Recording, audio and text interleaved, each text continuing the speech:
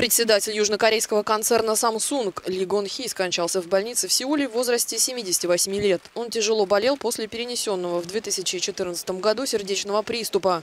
Ли Гон Хи стал председателем группы Samsung в 1987 году.